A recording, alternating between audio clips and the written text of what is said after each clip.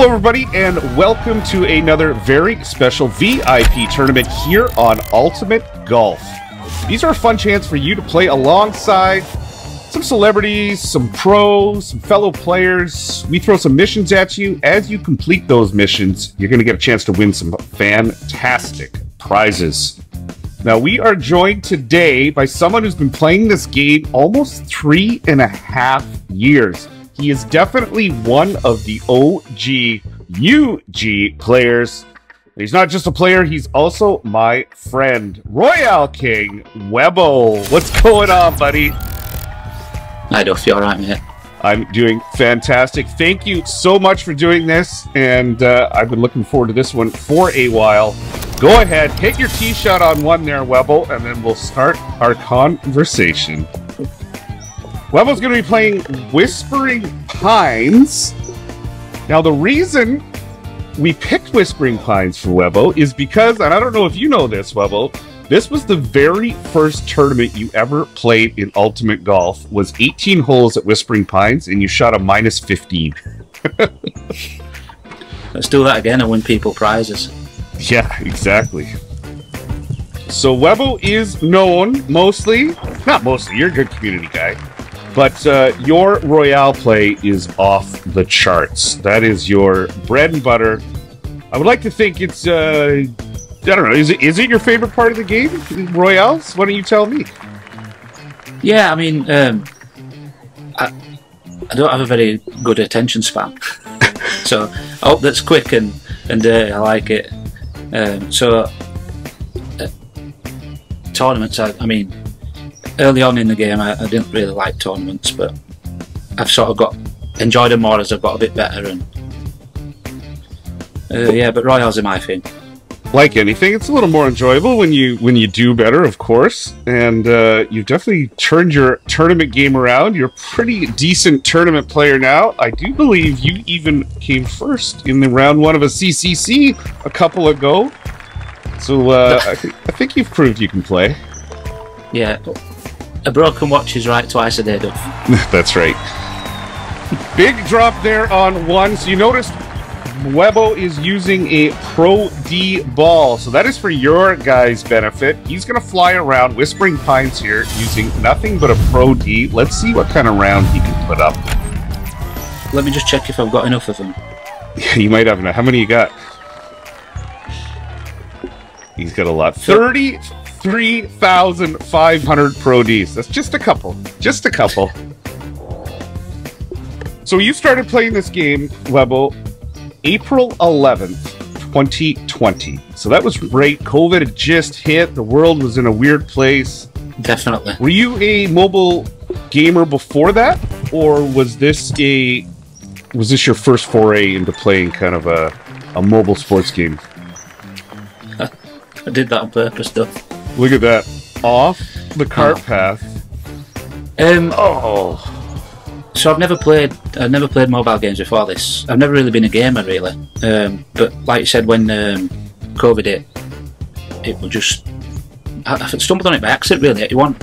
I think it just been released. Maybe, maybe that that week. yeah, it was brand new. Then.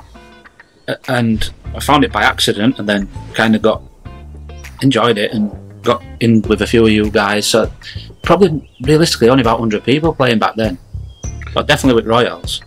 Well, remember Royals? So Royals back then, we used to have the chat, right? 10 minutes before each Royale. They were only once an hour instead of on the 20 Oh, yeah. minutes cadence that we have now. And we all used to pile in and chat. And it was me, and Big Easy, but then you guys were kind of running the show. So it was you, LFC, and there a couple other guys, a couple Canadians in there. Remember 401, Roadkill, Roscoe was in there, a few of the other old old guys. Fat Cat But uh, Fat Cat, yeah, he was original as well. Now, tell us the story of where the elite moniker came from and that whole uh, how that came to be. Nice shot, by the way. Uh, that's just because we're obviously best. no, um, so back back when chat was allowed in trials, we used to just uh, jump in every hour, and most of us had it on on a, an alarm clock back then, and um, it was just friends jumping in to play, and somebody took a bit of an exception to it, and uh, called us all elite goons. I think was the terminology. Maybe maybe it was a bit more of a choice choice word. It might have been. Um, so it just stuck, and every time then I joined after that, I just said hi elite and waved at everybody, and it stuck from that point of view. But obviously, most people don't realise that. It uh, it was quite funny. So it was, and I'll go into the backstory on our side too. So it was you guys were all elite, and you guys had all changed your your logos. Obviously, you had some sort of like a Facebook chat or something going, and then me and me and Big Easy were left all on our own. And we were still Uh-huh. like we were good at Royals, but we were coming second to you guys. You guys were always beating us. Easy maybe was doing a little better, but I was always coming second. So we thought, hey, these buggers, they've started their own little group. Let's start one. So I remember we got Jason in early, and then a couple other guys, and then uh, we kind of had two competing teams going for a little while there. But then country clubs formed, and then that was the beginning of whiskey business. That was whiskey business was uh, Big Easy and my little group, and then your group all coming together. And look where Did we you- are now, Webbo. Did you say some nice words about us back then? Um, I think LFC and I definitely got into it a little bit once or twice, but then we discovered that we had a mutual interest in aviation, and then uh, and then once kind of we made up, and then I, I, you and I started chatting a bit, and then like for real, like you're just you're you're a dude I met on on Ultimate Golf, but like you're my buddy, you're my friend. Is this our? Uh, do we hug now? Is that how this works? I'm an emotional guy at minute, mate. So yeah, carry on. Yeah, yeah, yeah. Our, our little fun. Let's let's have a little moment. No, but but I mean the, the elite guys. We had a chat in there. You know, everybody in the world were going through tough times with COVID and things like that, and and and everyone deals with it differently. So to be there for everyone is just. I mean, that's pretty much me, really. I like. I'm a people person. Um, sometimes I get a bit too passionate. I appreciate that, but um, this game just brought everybody together, and I think as much as everyone, there's a few little ding dongs happens, but I think in the main people stick up for each other a lot on this game. there's definitely a sense of camaraderie and friendship and and, I've heard it said before is, is you come for the game, right? And, and the, the game's obviously outstanding, but you, you stay for the people. And, and that's definitely something that's happened. And, and, like we've known each other for over three years. I, I got a whole pile of people I haven't known for three years. It's pretty damn cool. It's not just the. It's not just that. It's where you go. It's it's where you go for support and advice, and obviously we play the game a lot and, and stuff like that. But you know, I've had a couple of rough instances in, in my life where whiskey business people that I've met through the game have been there for me. So amazing. I'll never forget it, to be honest. So yeah, it, it truly is, and um, we can take. I can go a little off script here and tell a little sidebar story that we uh, we recently whiskey business started like a little uh, a, a little mental health like channel in our group chat, and that's something we use where there's you can just go in there non-judgmental, non anything. Uh, no jokes allowed, no nothing, just somewhere to rage, rant, cry, laugh, complain about some whatever you want. And it, it's man, it's useful. I've used it, you've used it, we've all used it. It's uh Yeah. so guys, find something out there. Don't be afraid to talk, even if it's someone random. But anyway, you're talking about getting through times and whatnot. We gotta we gotta talk about the elephant, not the elephant, but that broken leg in the room. Webbo, as the supreme top level peak athlete that you are, out playing football, as you call it, soccer for the rest of the world, goes down with a major, major injury. Tell us about that night. I mean, I've played football all my life, three four times a week, forever. I'm a big lad, but I still play. Play centre mid, uh, reasonably fit for a chubber. and um, I, I, I got kicked from back. Um, sorry, I'll rephrase that in, in American English. I got kicked from behind There you go. and um, my knee overextended. I think I saw an NFL player do a similar injury this week where it was pretty serious. Nick Chubb, know. yeah. Oh, I could watch it. Oh. Uh, and my patella tendon just snapped clean, and so I've had to have surgery. And basically, I haven't been able to sit up, stand up, walk for six weeks. So Webbo is normally a very handsome, clean-shaven individual who uh, doesn't sit in that couch all day long. But now there is a imprint right there where he's sitting, and look at that glorious beard that he's got going. It's alright, Chinwig, in it. It's all right, buddy. Looking good. A little less gray than I got, though. I'm not gonna lie. I'm a little jealous. I um, I've never tried to grow one before. I can't get out of the house. I can't shave properly over the sink comfortably, so I've just left it. And then you timed this perfectly and said, "Why don't you come on?" So here I am, looking a bit. You look fine, buddy. You look fine. Minus eight through five here at Whispering Pines.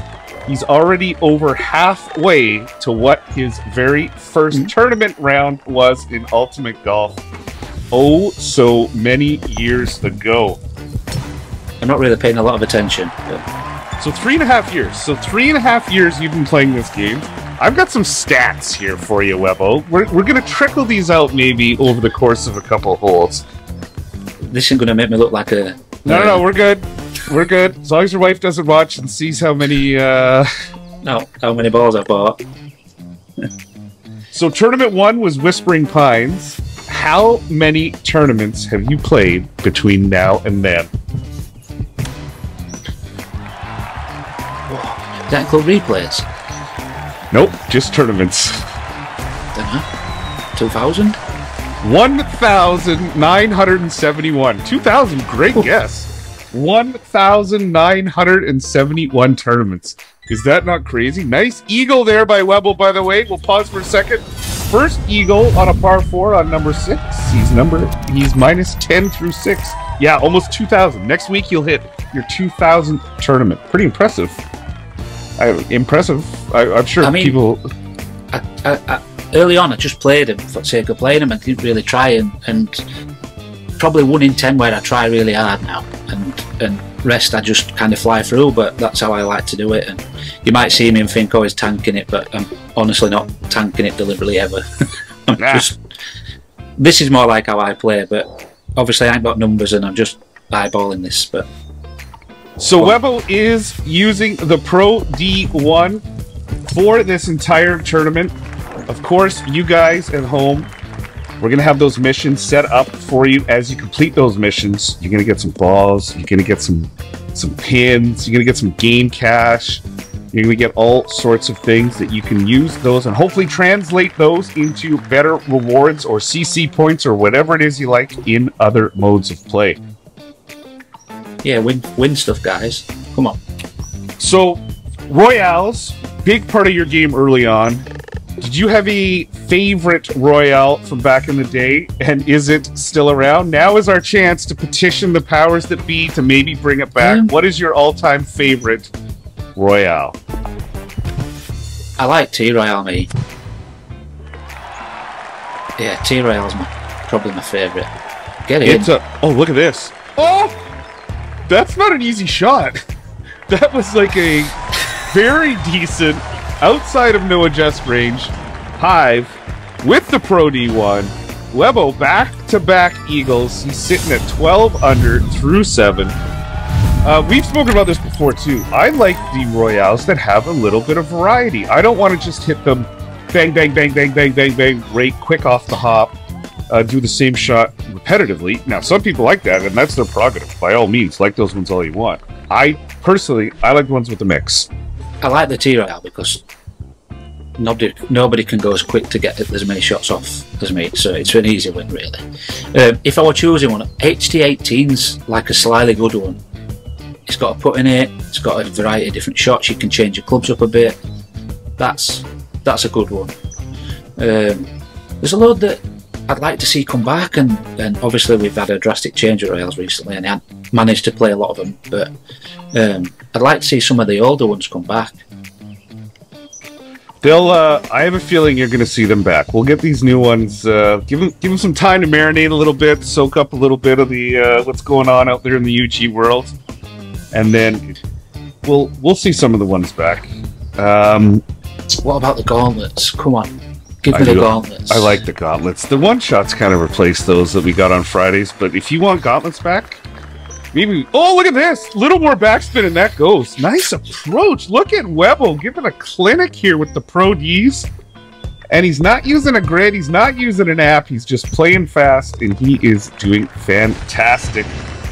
So, Royales, you guys kind of changed the game with Royale. So, before, uh, it was a lot of aiming or maybe just letting the needle pass and letting it go left and right the and adjusting for the wind that way. But the goal was always to try and get it as close to the tee as possible every single time, and you would you would take some time to do that. Whereas you guys kind of figured out pretty quickly that the quick shot and quantity over quality might be the better way. Maybe you can take us back to those early days in your elite group and and how did that conversation come about? Where how did you guys figure it out? Because you guys dominated. Well, you still do, but you dominated Royales for a very long time with that quick shot. So I think I think I actually joined a week after everybody else, um, and then um, I ended up getting invited, and it blew my mind some of the scores. I think Milner, Scott Milner, what, Milnes, Yeah. Milnes. I can't remember. He he Yep. was the original person that came up with that, uh, the quick shot. And, and you sort of think, what am I doing wrong? Am I playing a different game to these? And, and, Yeah. you know what I'm like? I just, I'm nosing me, I'm straight to point, so I just asked the question. I said, How are you scoring so high? And uh, then I found out the quick shot and then just played and played and played and played.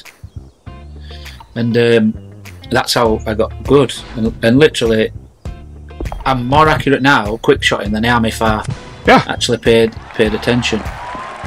So when we're using the word quick shot, so what that means is Royales is, and you can search YouTube and, and, and actually we'll get to that in a minute and, and see what these players do. So a quick shot is just real quick finger thumb movements to uh, apply basically full backspin right away and then take a uh, shot really, really quick without ever adjusting your aim. And what that'll allow you to do is get off 11, 12, sometimes 13, 14 shots in a two minute Royale. Now you do give up a little bit of accuracy while you're learning this method. You if you stick with it, you can actually get pretty accurate with it. But you get the quantity, and you'll find your scores will like you'll double your TB scores in a Royale just by getting good at this method. Might have a little go at the green here, hey, with that tailwind. But speaking of YouTube channels, Webbo has a YouTube channel of his own, Ultimate Golf Elite. That's what you're going to put in that search bar. What uh, what prompted you to join down that world, Webbo, and how have you enjoyed streaming so far? That shot were awful, by the way. Uh, Um, it was it was garbage. do you know what? Um, it goes back to people just asking questions and me wanting to help grow the game originally. Literally, that is why I created the page just for fun. Um, and you get it, it, it does make me feel good when people enjoy it, you know, and, and they get better, and you can see tangible improvements in people, and you think it's quite good. Um, so I just it's all fun for me, really. Um, and yeah, so, I've been told that that's not the only time you've ever taught golf, um, and good on you for doing this. Um, used to teach golf, and then you used to also teach kids and adults with disabilities golf. And Yeah. uh, what a fantastic opportunity uh, for you and for them. Maybe you could tell a little bit about what brought you into that and what kind of experience that was. yeah. Um, I mean, I don't think I told you that. Um, Oh. I, I. Oh, it's almost like. I might have done some research. I so uh, long. I'll, I'll, I'll have to go back a few years. So uh, I was a pretty good junior golfer, um, and I played for county, and then I went to golf college in England, and uh, decided I wanted to be a pro golfer. And I worked at driving range lo- local to me, and the Dis- Disabled Golf so Golf Foundation. I can't remember the full name of it, but uh, they they approached and said, "We're, we're setting up this charity. I want we want to use you." And I basically offered my time to to teach. I taught children and uh, disabled people, uh, which is hands down the most rewarding thing I've ever done. So, um, yeah, it's I'll tell you a story about one particular person that I, that I did. I So, um, the I. I was gonna say the I I've dealt personally too with um, dealing with people and helping them. It, it is super rewarding. And yes, tell us about. I do believe this person had a stroke, right? And you helped them come back. I, I'm dying to hear this story. And uh, go ahead and tell it. It, it, it, uh, Listen, I'm a soft guy. I'm a soft guy, right? It's fine, buddy. It's just two guys hanging out. Um, I'll, I'll just pause for gameplay a minute and just tell you this because it's a pretty good line. Um, so you're at the driving range. There's sort of six people that I'm, I'm lining up. Some with you know one arm, one leg, and they're they're all right coping. And th- and there were there was a man on there and um, he'd had a stroke. He'd got no use of his right side. Um, he would, I could tell that in his eyes that he was frustrated. He couldn't really talk properly, and and so I just stood with him, and, and we managed to get him hitting the ball. And, and honest to God, he hit this ball 20 yard, 30 yards, and I could tell he would like. So we hit three balls, and he managed to do it. And I just give him, impro- I, I improvise with him, and, and I either helped him or, um, and this, and I could tell he wanted to talk to me, so I got close to him, and he, he said, "That's the first time I've hit a golf ball in 70 years." and it, it and a tear come down his eye, and I, honest to God, Waterworks. uh, well, uh, yeah, um, and you know, I did it for love of my love, love, for me for my my time, and it was it was rewarding, and um, it it's something that I'd advocate everyone to do, and, and see people in, in, in positions where you know we're all lucky if we if, if we're going through life without issues. Um, just spend time giving back and seeing people that are less fortunate, and then it might stop. You're a good dude, Webbo. You're a good dude. It uh, what a fantastic story, and uh, yeah, I'm so proud of you for doing stuff like that. And, and it is a priv- privilege to call you my friend. Um, good on you, buddy. Now, in a quick segue, because we went through the turn on nine, and I always ask this: Oh, sorry. when you're golfing out with the mates and you get to the turn on nine, do you just want to plow through and start ten, or are you stopping and having a beer and a bite? Uh, well, I usually have a beer and a bite all the way through, not just at the t- um, it's obviously I can't drink at the minute because of medication, but um, I always stop at the halfway house. But cart girl for me straight on there. I'm with you. You gotta have a beer, beers. beer, beer, a couple of beers, sure, and uh, at least a hot dog. All right, we talked about how many tournament holes you played. Now you're a Royale guy. Oh, wait, I gotta ask this: Royale or Royal? What do you say it? Royal. I say Royal when I'm talking about it, but it's Royal. Drive me crazy. There's an E on the end. It's Royale. Anyway, how many Royale hash slash Royal shots have you taken in these last three and a half years, Webbo? Wow. So you're probably averaging 10, or, 10, or, 10 every one. I gotta tell you right now, a quarter million. a quarter million Royale shots Webbo has taken in the last three and a half years. Wow. In those quarter million shots, how many TB points have you earned in the last three and a half years? I'm gonna give you a hint. You're seven on the all-time leader list for tiebreaker points. Seven. Only six people have more tiebreaker points in Royals than you. How big is that number? I, I have no idea, man. 180 million. it's actually 179.1, but we'll, we'll round up. 180 million Royale points. Wow! And you got to think the most you can get is is what like for 1800 whatever. If you, if you drop an aloe, 2300 maybe. Most of them are in like the 700 to say 1200 range. I should imagine they were all 180 very, they were all very good as well. So yeah, so you're yeah, oh, yeah. Actually, I do have the stats on that. You'd throw 208 out of bounds, I think, playing in a royale. I've got, I've got more 208? stats. Oh yeah, actually, Just I think it 208, that's pretty good. might, might more, maybe 308 actually. Um, Oh, what out, else? Out of have? bounds. Out of bounds, like, like of bounds in a shed, in a in a shed on on on Harbour Town. No, I was right. Out of bounds. 208 out of bounds on a royale. Uh, 195,000 of your shots have hit the green. 20,000 Royale shots you've hit into the hole. So you've sunk 20,000 shots in a Royale. And Do we get any extra uh, points for that? 4,300 uh, into the rough.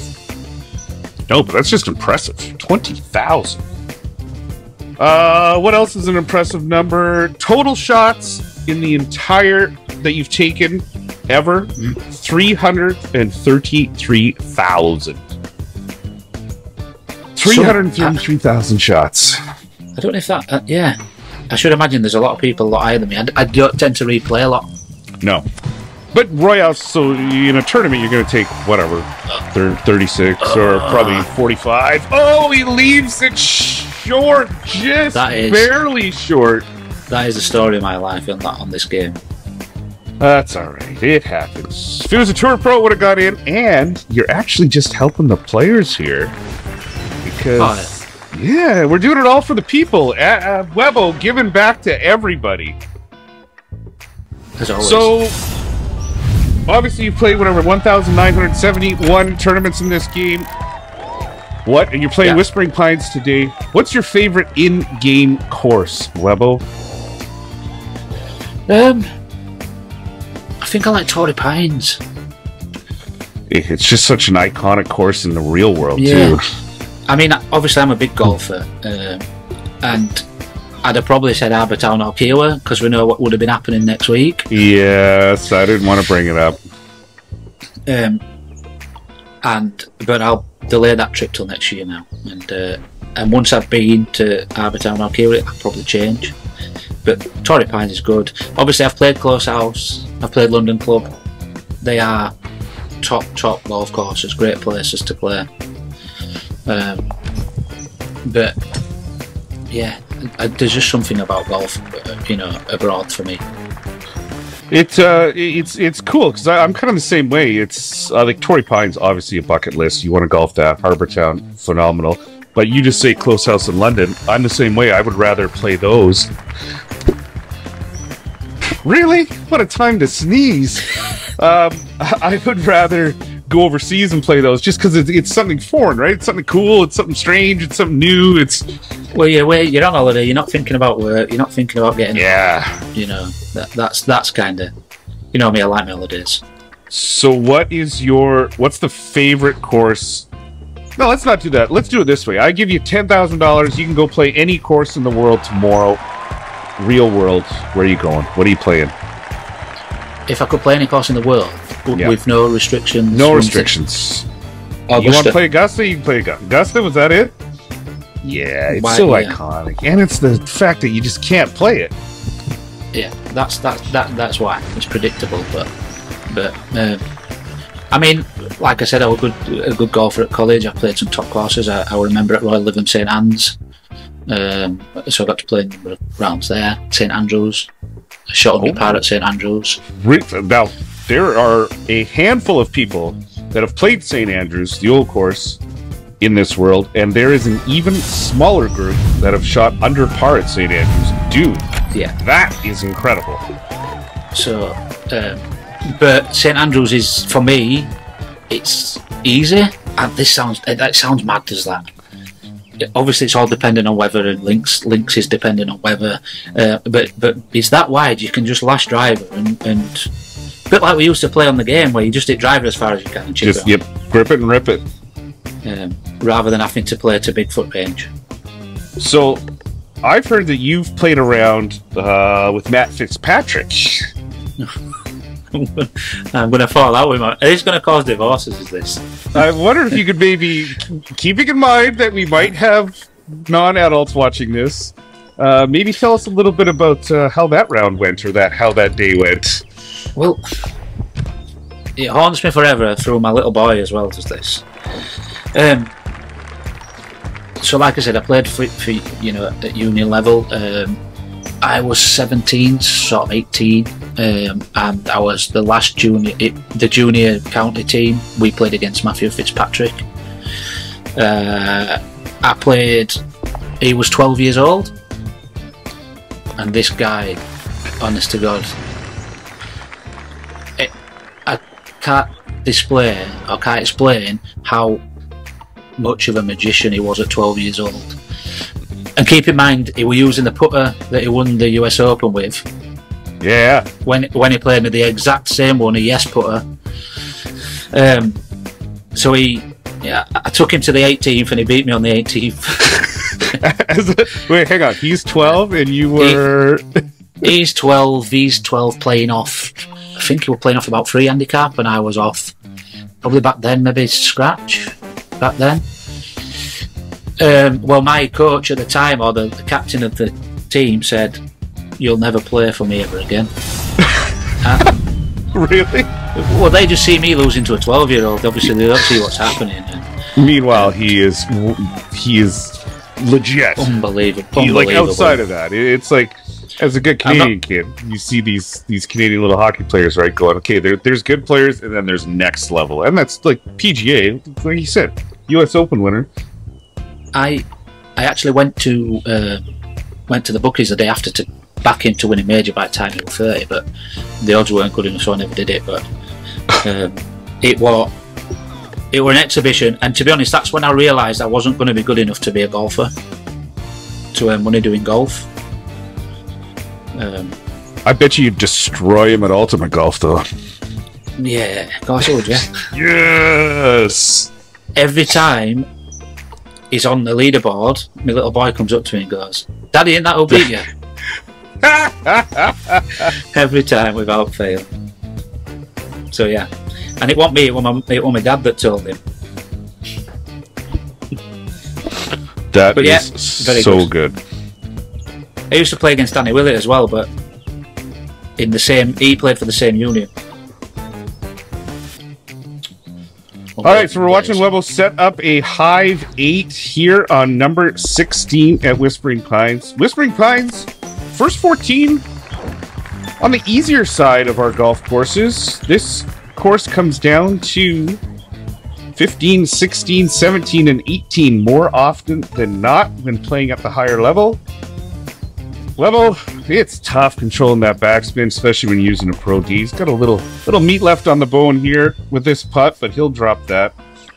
especially when I pull it too far. Yes, yeah, a little bit, a little bit of an overadjust. That's all right. We're just playing for fun. You're helping the people. Um, it wouldn't be fair for us to go through an interview like this without you giving out some Royale tips. So I was wondering if you can give out some of those top, that secret sauce, some of that Webbo's wonders. Give us, give us some Well- Royale juice there, Webbo. So obviously, watch watch the channels, watch the YouTube channels, watch how how the quick shot technique happens, um, and then from there, um, I'd start with your rough iron yellow jacket, um, uh, then orca, because that's pretty much if you drag straight back. So let me just show it on my screen now. If you drag it straight back and let go there, that's what we mean by um, quick shot. Now. Um, the yellow jacket and orca because the needle's so quick if you drag it straight back it's pretty accurate and it's it'll get you a great shot or a good shot and you'll get somewhere near so work on that and keep playing it and playing it and playing it until you get that good and then you can move up to your wedges where you have to delay that release a little bit um, but, but my biggest tips is get that golf ball stopped stop moving as quickly as you can Yeah, yeah, full backspin. So early on, uh, it might you might end up using different clubs. Whatever I think, whatever rough iron or sand wedge that has the most backspin is probably your best bet. And then definitely as you're in the in the higher club levels, yeah, yellow jacket, orca for all the standard ones. Now people will go aside and, and start experimenting with Adobe and Phoenix and that once you get into like the Blitz Royales and that the ones where you're doing a lot of aiming. But you can find a lot of success rocking the yellow jacket and the orca, and you don't even need to be using big fancy balls and everything just for the Royales. Um, you can get away with it with a with a lesser ball if you get that speed up. I mean, ultimately, we all got better by playing more duff. So you know, don't just don't is. just give up. Don't just give up. You know, try it. Repetition. Oh. We're getting in the hole. Not bad for a Pro D approach. Little sniff at Albatross there for a 1788. We are playing a VIP Royale here at Whispering Pines with Royale legend, whiskey business member, and my brother, Webbo.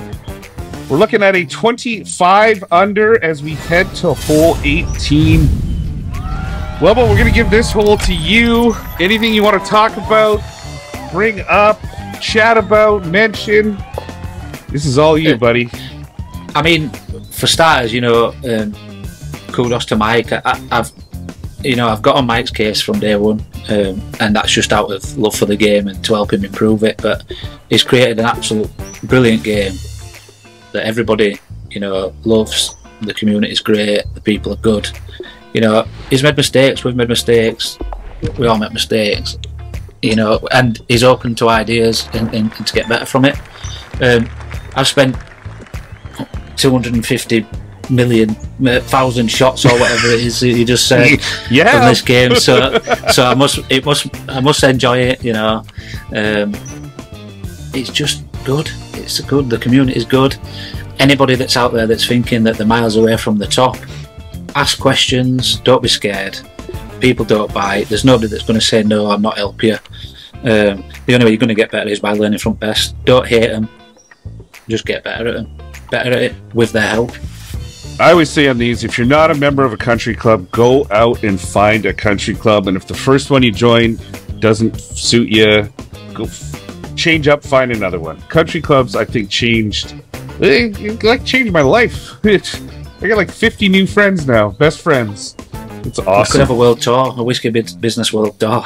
it uh, well, we're having a little whiskey business meetup this weekend. Actually, it's it's legitimately these guys are my friends. All right, Let's watch so, this approach shot. So there's a quick shout out, quick yeah, shout out Duff to obviously the, the original elite guys that were in there, you know, from day one, um, and then the whiskey business, you know, past and new. Um, cheers, guys, for being being you and, and you know supporting me um, from day one and supporting each other as well. It's great to see. For sure. All right, approach shot on 18 is away. Let's see if we can finish with a bang here. Oh, look at this. Oh, it didn't want to come back, but hell of an approach shot with that Pro D1. Hopefully here we can get some people some goodies. Whispering Pines. Yes, people, you're going to go ahead. He missed a couple fairways, too, off the tee, which is going to help your driving distance. We're looking at minus 26, the score to beat. Webbo playing Ultimate Golf. Buddy, thank you so much for doing this. You've been a good friend of mine for years now. Uh, let's get that leg healed, and I cannot wait till one day either you come this way or I go that way and tip a pine with you, buddy. We've got to do Cheltenham, and we'll do the London Club and do that.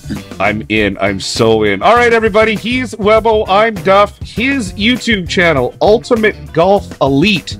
Go find it and subscribe right now.